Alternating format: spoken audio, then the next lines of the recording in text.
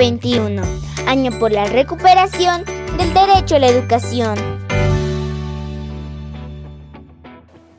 Bienvenido, mi querido estudiante, a la clase de química.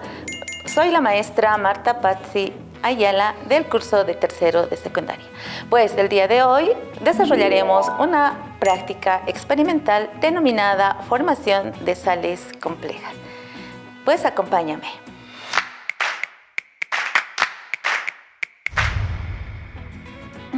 Para la práctica experimental del día de hoy vamos a utilizar los siguientes materiales y reactivos.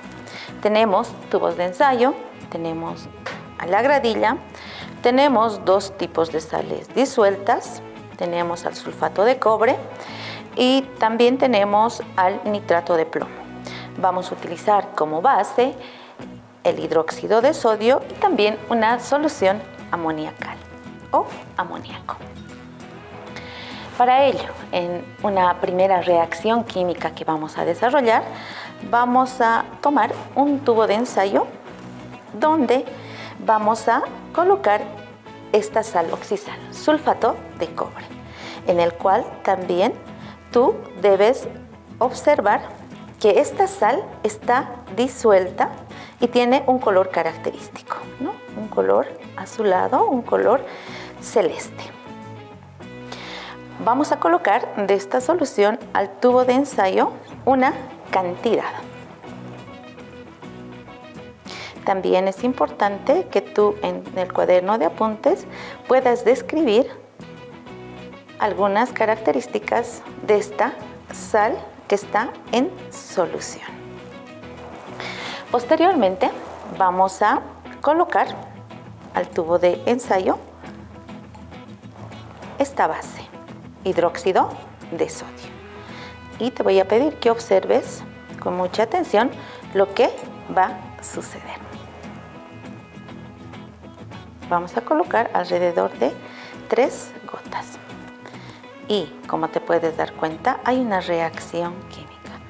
A partir de esta reacción química se forma un precipitado, es decir, un compuesto en forma sólida que por efectos de la gravedad va a ir en la parte de abajo, como tú puedes apreciar. Acá tenemos una reacción, una formación de un hidróxido. En este caso, el hidróxido formado es la sustancia blanca que tú puedes apreciar en el tubo de ensayo. Posteriormente a ello, vamos a añadir una solución amoniacal o también denominado amoníaco. Vamos a colocar unas gotas y también te voy a pedir que tú puedas observar qué es lo que sucede en el tubo de ensayo, cómo se forma esta sal compleja a partir de la reacción de estas sustancias que nosotros vamos añadiendo al tubo de ensayo. Entonces vamos a tomar el amoníaco y vamos a introducir unas gotas de esta de este compuesto y quiero que observes lo siguiente.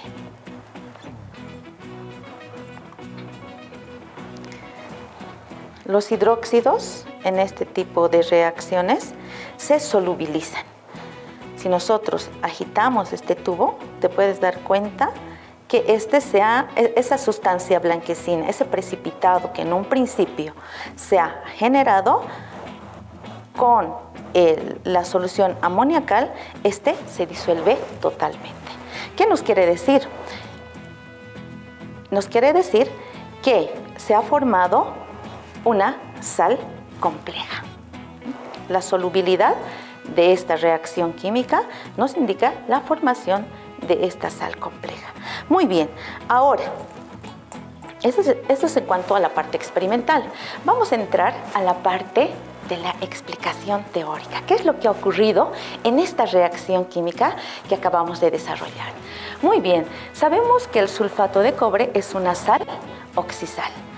Esta sal es sólida, pero en presencia de agua se disocia. es decir, en cationes y en aniones, en cargas positivas y en cargas negativas. Por ejemplo, acá tenemos el cobre disuelto con una carga positiva igual a más 2.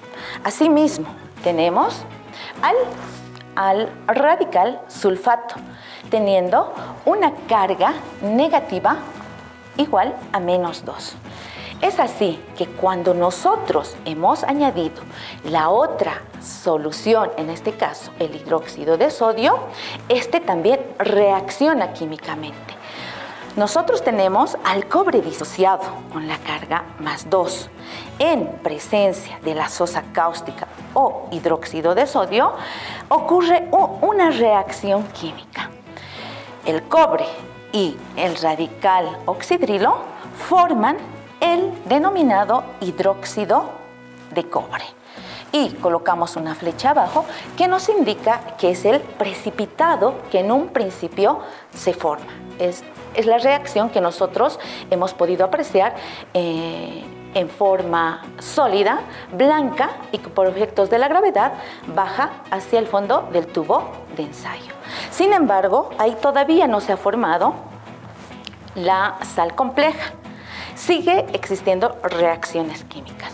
Nosotros posteriormente hemos añadido la solución amoniacal y ha seguido ocurriendo algunas reacciones químicas.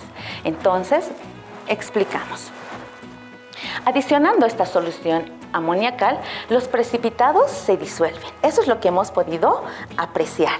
Por ejemplo, acá está totalmente disuelta esta salía formada producto de la reacción. ¿Qué es lo que ha sucedido? Pues bien, una vez formado este hidróxido de cobre, también en presencia de esta solución reacciona químicamente formándose esta sal compleja.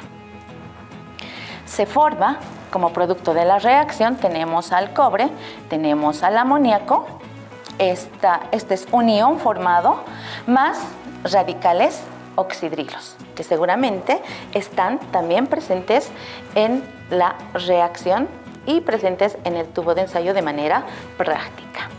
Ahora, para nombrar nosotros en la anterior clase habíamos visto cómo nombramos este tipo de compuestos hay un elemento importante que es un metal, ¿no? un metal central y los ligandos.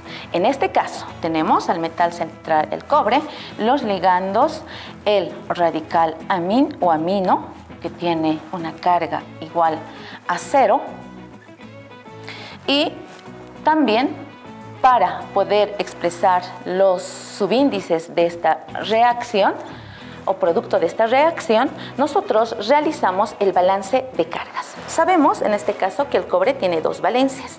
Trabaja con la valencia de más 1 y también trabaja con la valencia de más 2. Entonces, en este caso está trabajando con esa carga más 2.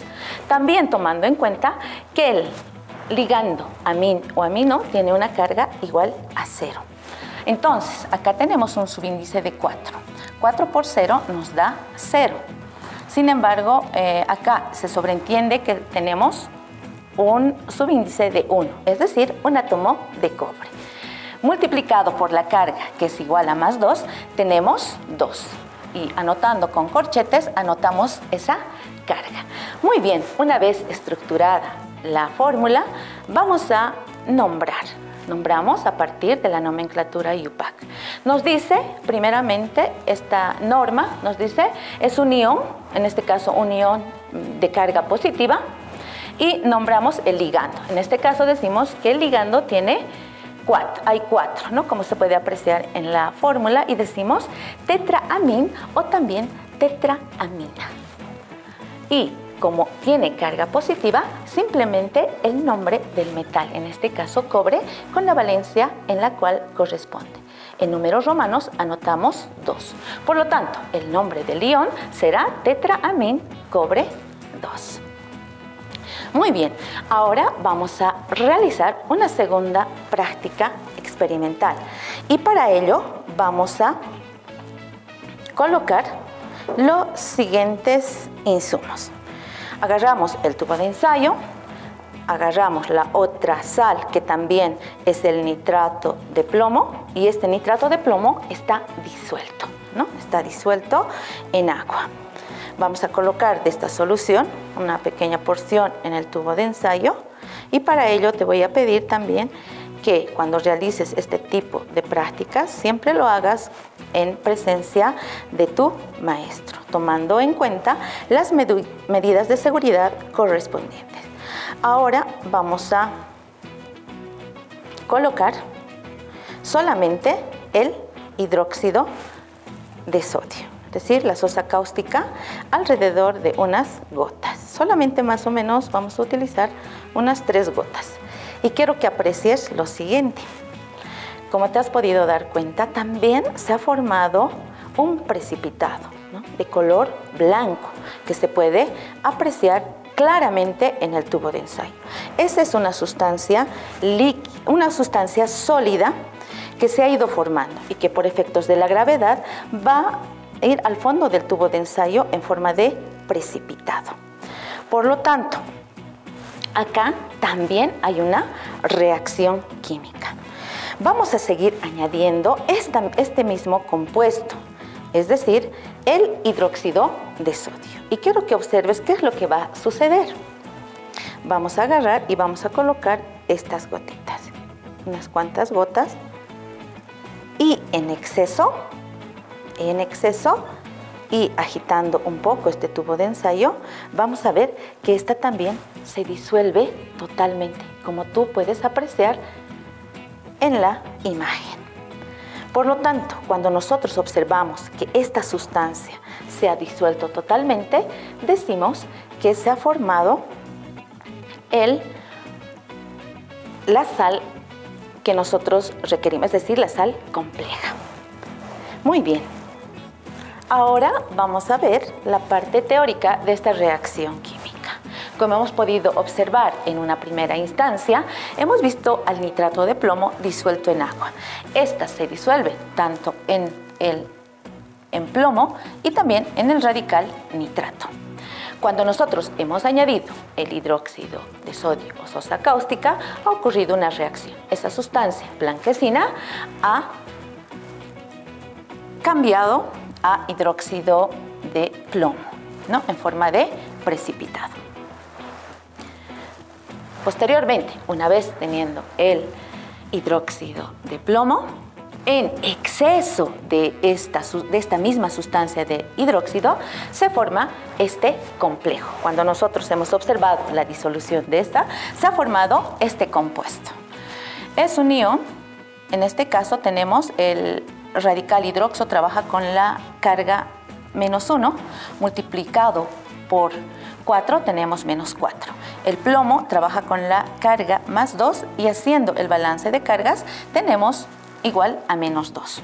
Por lo tanto, el nombre de este compuesto será, si tiene 4 como subíndice, tetrahidroxo plumbato 2 pues bien, mi querido estudiante, el estudio de las sales complejas son muy importantes, tanto en el estudio de la parte teórica y también de la parte práctica. En la parte teórica, el estudio de este tipo de sales nos ayuda a explicar detalles de cómo son el color de las piedras preciosas.